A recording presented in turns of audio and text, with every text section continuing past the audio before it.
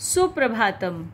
प्यारे बच्चों, मैं अंजलि चौधरी, कक्षा छः विषय संस्कृत में आपको, आपका पुनः स्वागत करती हूँ। बच्चों, आपकी गर्मियों की छुट्टियाँ समाप्त हो चुकी हैं। आप छुट्टियों में खूब खेले होंगे, घूमने भी गए होंगे, यानी आप ने खूब मस्ती की होगी। और जो आपको, यानी हॉलीडे होमवर्क जो आपको छुट्टियों का कार्य मिला था आपने वो भी पूर्ण कर लिया होगा। मुझे उम्मीद है सभी बच्चे स्वस्थ होंगे और मस्त होंगे। बच्चों, अब हम छुट्टियों से अपना ध्यान हटाकर पुनः अपने अध्ययन की ओर ध्यान लगाएँगे, यानी अपनी पढ़ाई की तरफ़ फिर से ध्यान देंगे। बच्चों, हमारा पाठ पाँच पूर्ण हो चुका था। आज हम षष्ठ पाठ, यानी पाठ छ समुद्र तट का अध्ययन करेंगे। समुद्र तट यानी समुद्र का किनारा। बच्चों, ये देख रहे हैं आप, समुद्र का किनारा दिखाई दे रहा है आपको। तो पाठ को पढ़ने से पहले हम क्या करते हैं? शब्दार्थ का अध्ययन करते हैं, जिससे हमें पाठ को पढ़ने में सहायता, यानी आसानी होगी। शब्दार्थ, यानी शब्दार्थ। समुद्र तट समुद्र का किनारा। पर्यटनाय, यानी घूमने के लिए। तरंगे लहरों से या लहरों के साथ।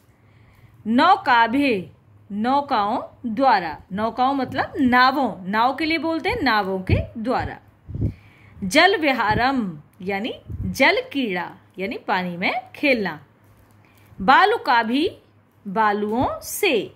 जो बालू होती है, जिसको आप रेता बोलते हैं, उसके लिए है बालू।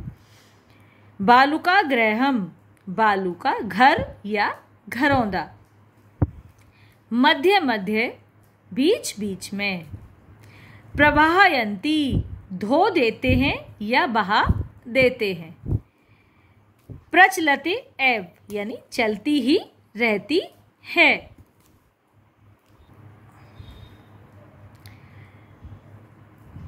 पर्यटन स्थानी यानी घूमने की जगह मत्स्य जीवन मछुआरे। स्वजीविका अपनी जीविका को। चालयंती चलाते हैं। अतीब बहुत अधिक।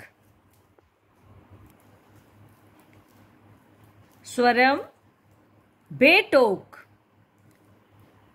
या यथेच्छ यानी बेरोक टोक विहरंती घूमते हैं या टहलते हैं। दीर्घतम सबसे लंबा। प्रायद्वीप तीन तरफ़ जल से घिरा हुआ भूभाग। संगम मिलन। युगपदेव एक ही साथ। द्रष्टुम शक्यते। देखा जा सकता है। शब्दार्थ बहुत थे बच्चों। सबसे पहले आप शब्दार्थ को पढ़ेंगे व याद करेंगे, उसके बाद में आप पाठ को पढ़ेंगे, जिससे आपको बहुत ही अच्छा पाठ समझ में आएगा और आपको अच्छा भी लगेगा। चलिए, अब हम पाठ को पढ़ेंगे व समझेंगे। एश समुद्र तट, यह समुद्र का किनारा है। अत्र जना पर्यटनाय आगछन्ति अत्र मतलब यहाँ जना लोग पर्यटनाय यानी घूमने के लिए आते हैं। केचन तरंग कीड़ती, यानी केचन यानी कुछ तरंगों से खेल रहे हैं। केचन च नौका भी जल विहारम कुरवंती यानी कुछ नौका यानी नाव में जल विहार यानी नाव से घूम रहे हैं।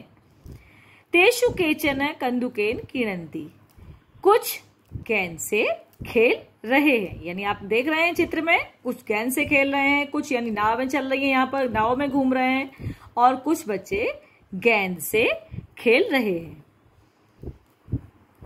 तेषु केचन कंदुके खेल यानी वहाँ कुछ गेंद से खेल रहे हैं। बालिका बाल, बालका च, बालुका भी, बालुका ग्रहम रचयंती यानी आप देख रहे हैं बालिका, यानी लड़कियाँ, बालका यानी लड़के, च बालक और बालिका या हम लड़के लड़कियाँ भी कह सकते हैं, बालक और बालिकाएँ, बालुका भी, यानी बालू से बालू का ग्रहम यानी बालू का घर, रचयंती, यानी बना रहे हैं, यानी बालक और बालिकाएँ, बालू से बालू का घर बना रहे हैं। मध्य मध्य तरंगा, बालू का ग्रहम प्रवाहयंती। मध्य मध्य, यानी बीच बीच में तरंगे, यानी लहरें आकर बालू के घर को बहाकर ले जाती हैं। बच्चों, ये काफ़ी वीडियो फिर लंबी हो जाती है तो दिक्कत होती है। हम यहाँ यहाँ तक प्रवाह अंति तक हमने आपको पढ़ाया। इससे आगे हम आपको इसका अध्ययन कल कराएँगे। सभी बच्चे पहले शब्दार्थ पढ़ेंगे, फिर यहाँ तक पाठ को पढ़ेंगे व समझेंगे। धन्यवाद।